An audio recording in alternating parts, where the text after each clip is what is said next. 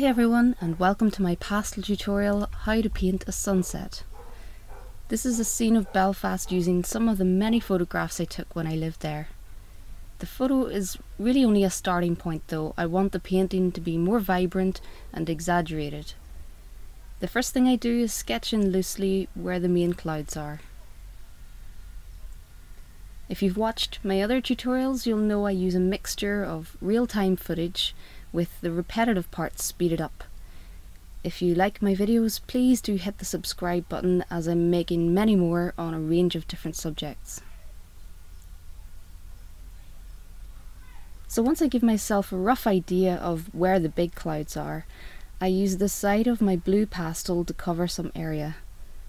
At first I was going to leave an area for the top left cloud, but the more I looked at it I could see that blue sky through parts of the cloud, so I fill it all in and we'll work over the top of this.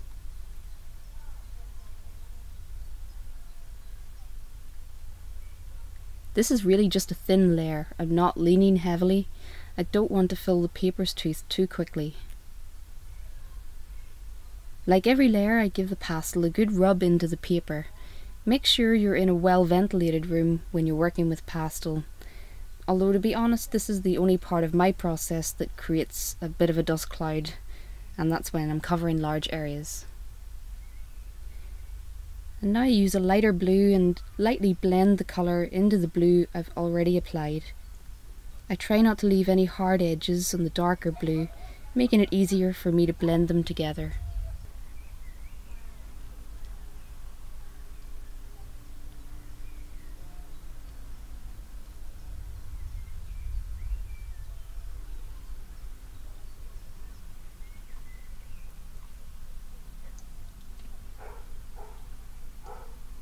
And now I come back with the darker blue and make very thin films of colour to further soften that gradient.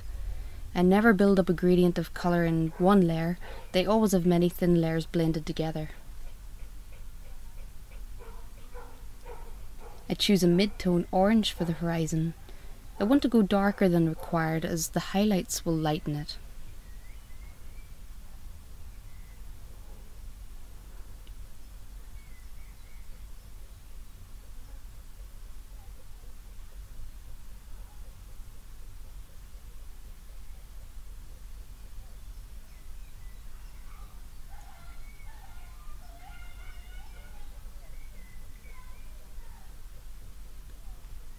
So you can see each time I add another layer and blend, the gradient softens and I lose any edges.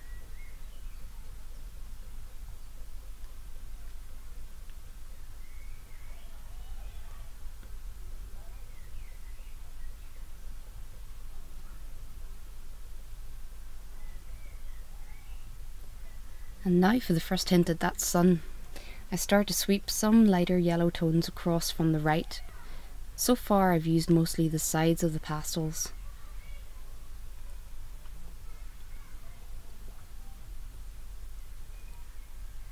Now to start mapping out the rest of the clouds, I use a grey lilac, knowing I'll need them to be darker but not willing to commit at this stage in case I mess up. I use the end of the pastel to sketch in their rough outline.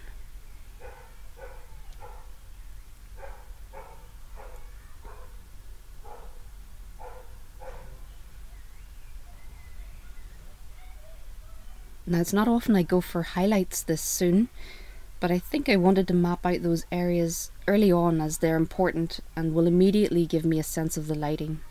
Also, I don't want my brightest lights to have to cover a really dark area.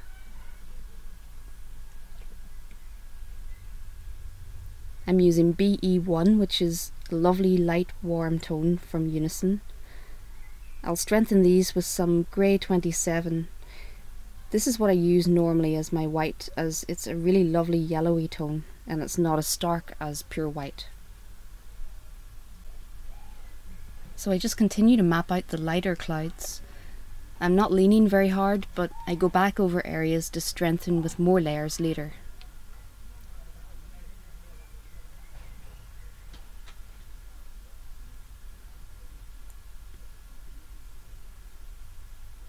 As always, if you're enjoying my tutorials, please do subscribe to the channel. Coming next in the series is how to build up skin tones, followed by some short tutorials on features like eyes and mouths. So I have lots of new material coming and a list of your requests to work through.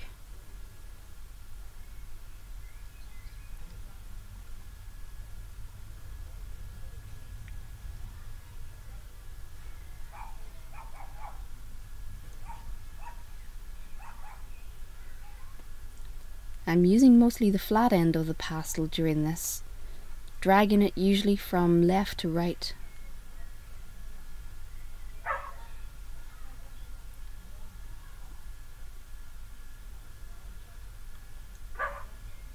And now I use that grey 27 to brighten areas. Sorry for the lighting quality on this top left corner. This footage was actually taken a while ago and I've since upgraded my lighting.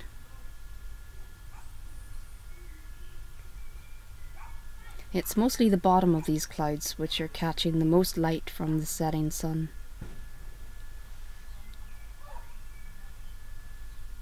And I soften all of that into the paper.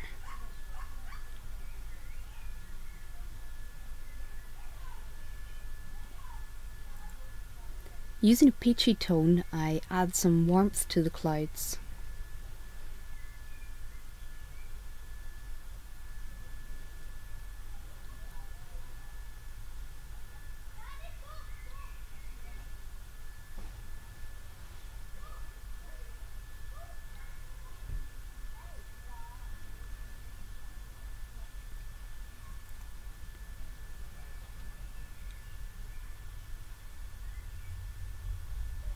Behind this main central cloud area, the sky seems to glow more towards the horizon, so I use some really cool light blue to lighten the area just above the cloud. Then this gets well blended into the sky, especially where they meet.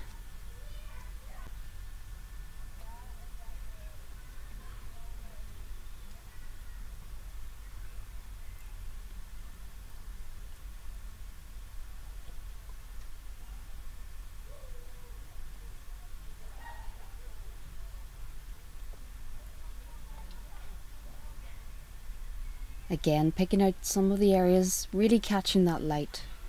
This is my Unison Grey 27, my brightest tone here.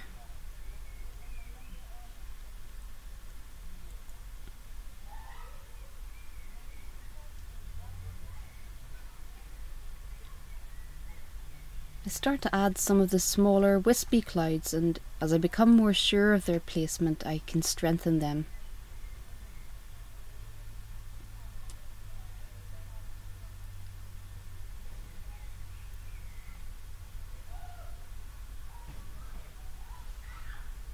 Now using a mid-tone purple, I start to block in the dark areas. I will darken parts of it later, but this colour is a good mid-tone to start. If in doubt, go in the middle where you can both darken and lighten.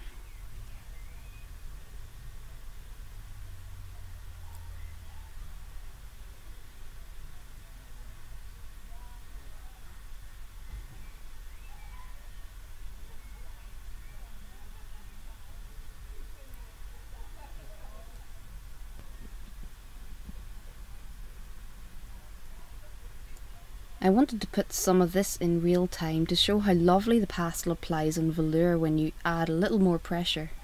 You get such solid pigmented colour. Definitely more akin to applying thick oil paint.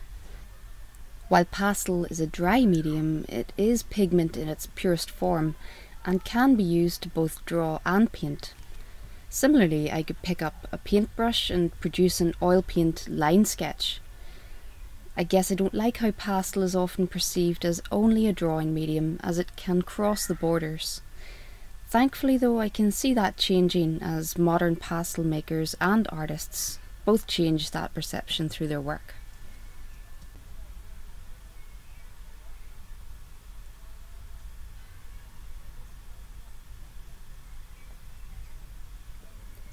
Funnily, if I were painting this in oils, I would do it in a very similar way also using my hands to blend, so you can see why I don't oil paint, it's far too messy. I'm using a dark purple to strengthen this darkest cloud. I'll try and list the colours I've used in the description below.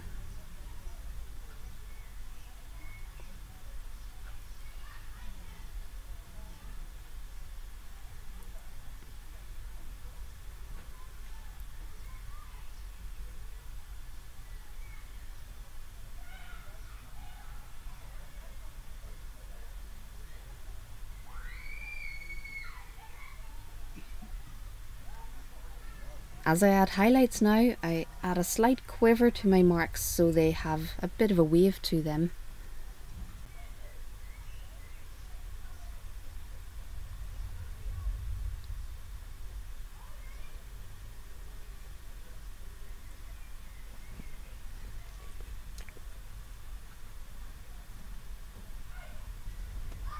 As I blend the dark edges into the blue, you can see it soften into the sky a little.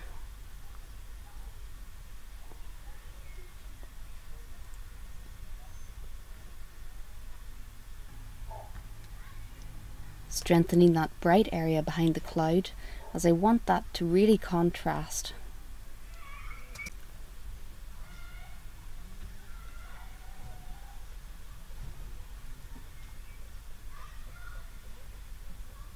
Now I add some more interesting edges to this cloud that I blocked in earlier. My marks get smaller to do that.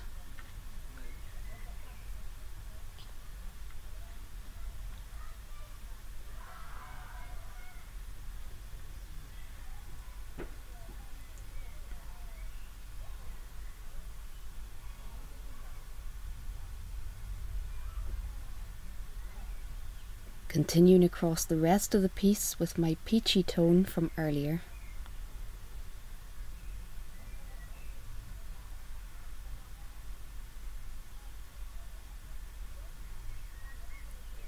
I took so many photos of the skyline when I lived there. Further up the road from me were fields where I could imagine the bunnies in the foreground, gathered to enjoy the sunset like we usually were in the studio. If you want to see this whole piece come together, check out my speed painting video of it. I'll add some links to that in the description.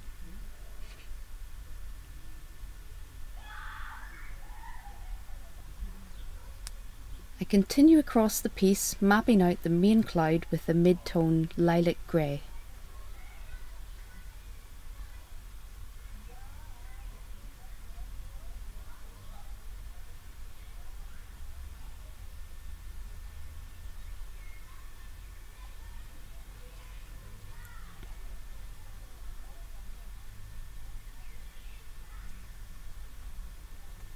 Now, because I have other layers of the sky below, when I rub the purple in, it gives a faint effect of being able to see through the top layer without mixing.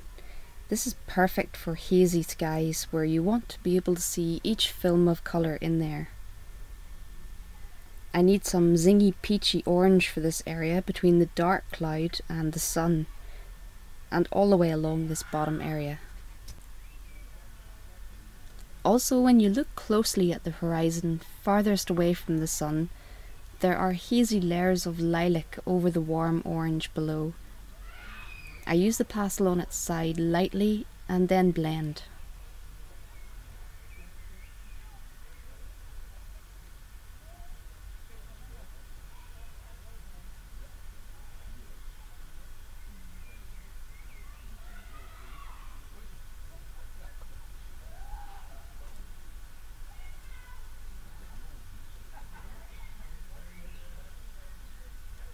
When painting clouds you'll often find both hard and soft edges. This is quite a hard edge with a gradient going down from that edge.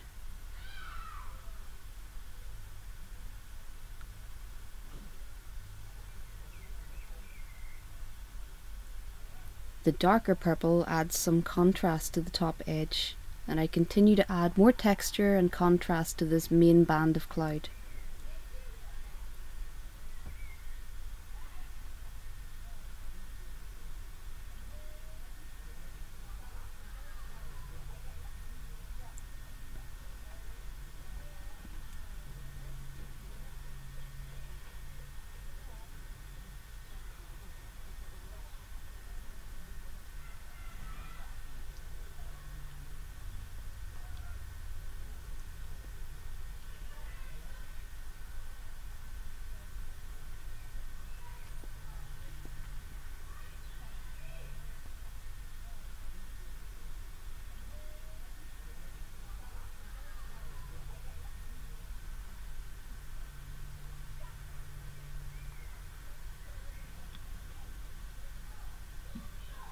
In the darkest area of the cloud there is some warmth. I use an orangey brown tone, lightly and then blend.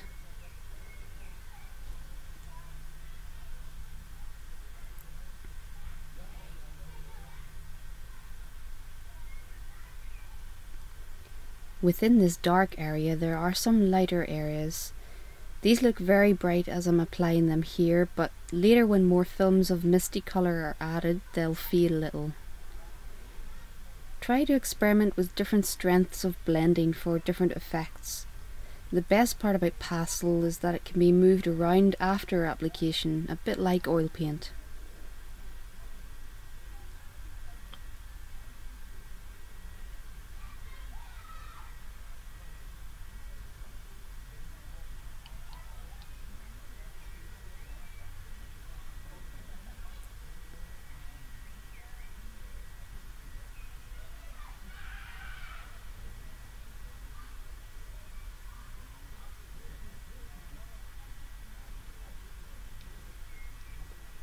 Now I bring this lilac further across the horizon line.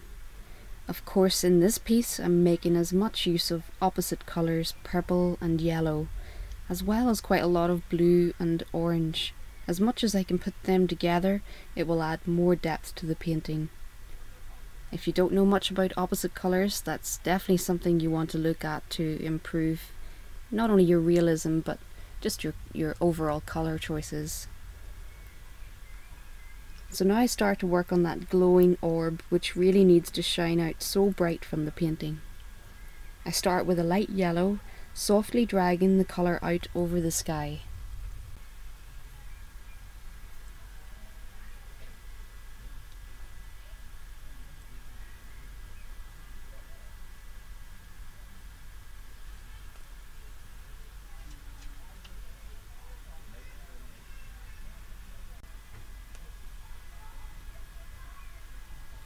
Again, these little areas look too bright at the moment, but they will disappear into the sun.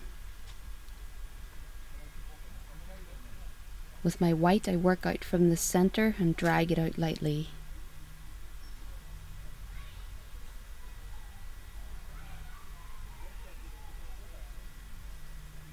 With the light yellows I'm adding some of those glimmering hazy clouds near the horizon.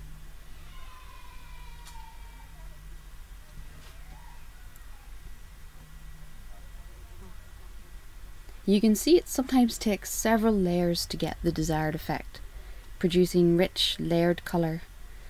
But if layers are mostly thin and well rubbed in, the paper can hold a lot. Check out my link in the description for tips on using velour as I have many ways to make it easier to work with and more stable in the long run. I'll add a link to that in the description.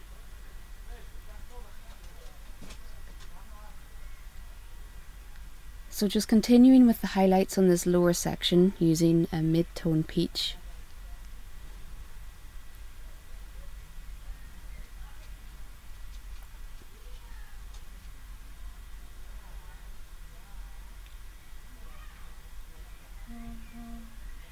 Notice there is often a faint glow along the mountain tops in a sunset. This will really contrast the mountain's top line.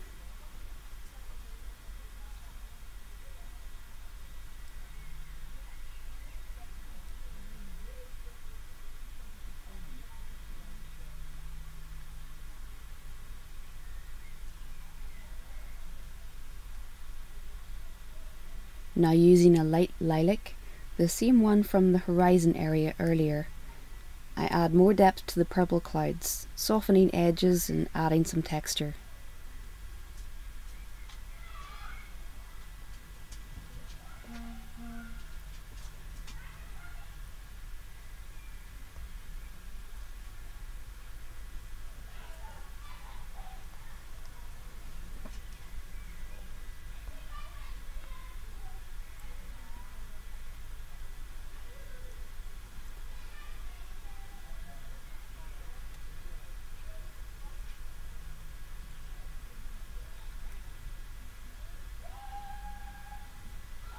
Finally, I grew brave enough to add a heavier layer of orange. When I blend that in, it starts to feel more hazy and warm over there. Now to blend the sun area outwards, I use the lightest yellow on its side, radiating outwards a bit like rays. When these get blended in, that's exactly what they'll look like. A final layer of white also radiating from the centre.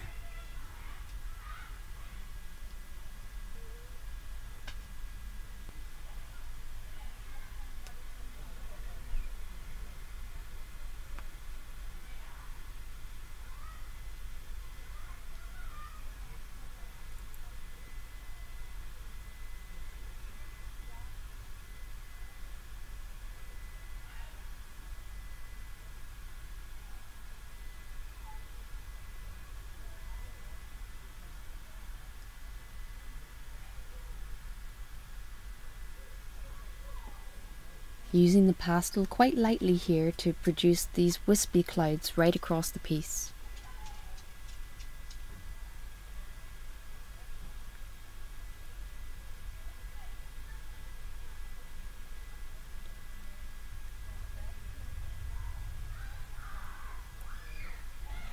I'm really just fiddling at bits here, trying to make the shapes and placement of everything look natural, strengthening highlights as I go. I don't know if you can hear in the background, but there's quite a lot of background screams. I promise I'm not hurting anyone. We're parked next to a lovely canal and there are some children playing in the water. You'll notice I used a light grey velour paper for this piece. I often favour a mid-tone as it helps my eye see the darks and lights by starting somewhere in the middle. My marks tend to get smaller and more deliberate as I progress. I use smaller pieces of pastel for smaller marks. Many of my favourite pastels are mere shards. People often ask how I can bear to break them, but they're just much more useful to me in a range of sizes. Of course, they wear down naturally too, but I don't mind snapping one in half to find a sharp edge.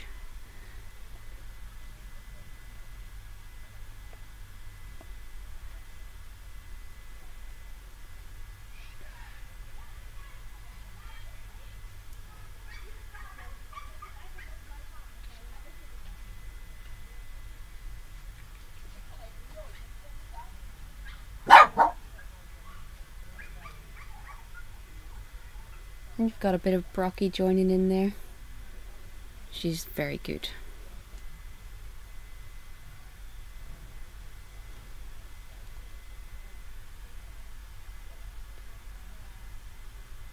Again, apologies for the lighting on the far side.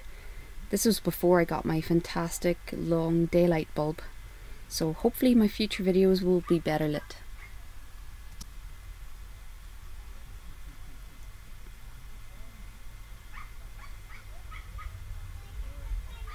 So I'm really just working this side in a similar way, adding more detail to the main cloud shapes and always remembering to blend in my marks.